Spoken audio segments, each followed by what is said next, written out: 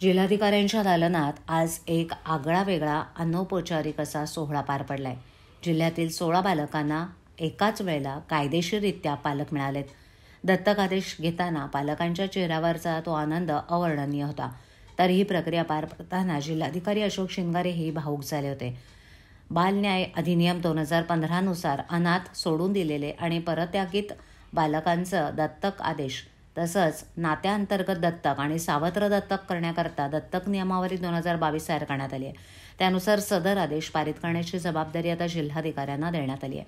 यापूर्वी सदर दत्तक आदेश न्यायालयामार्फत केले जात होते आता मात्र ही जबाबदारी जिल्हाधिकाऱ्यांवर सोपवण्यात आली आहे. त्यानुसार या प्रकरणाची सुनावणी करून इच्छुक पालकांकडे दत्तक बालकं देण्याबाबतचे आदेश जिल्हाधिकाऱ्यांनी पालकांना सुपूर्त केले. यावेळेला दत्तक घेतलेल्या पालकांच्या चेहऱ्यावर एक वेगळाच आनंद दिसत होता. नेरूळ येथील children of the world India trust आणि डोंबिवली येथील जननी आशिष चॅरिटेबल ट्रस्ट दत्तक संस्थांनी अर्ज प्रक्रिया पूर्ण केली आहे. यावेळेला जिल्हा महिला बालविकास अधिकारी महेंद्र गायकवाड जिल्हा बाल संरक्षण अधिकारी रामकृष्ण रेड्डी संरक्षण अधिकारी पल्लवी जाधव इत्यादी उपस्थित होते.